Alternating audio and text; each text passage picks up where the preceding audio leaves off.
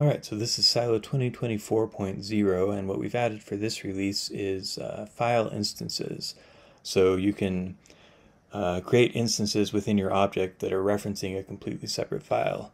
So for instance, here I've got this rover um, made up of these separate parts, but all the wheels here are actually instances from a separate file. And I've got this wheel file open up in a separate copy of Silo, which uh, we added in the previous release. You can do new window and get a, a separate instance of Silo running.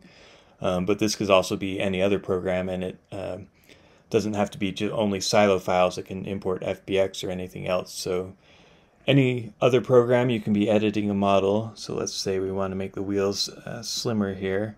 Then as soon as I save it, you'll notice that it will update over here. So this is a super handy way to um, organize your files if you've got complex models or if you've got a, a group of people working together on a project um, or if you've just got go-to items that you want to use over and over again and you want them to update automatically whenever you change them, uh, change the source file, this is a great way to handle that.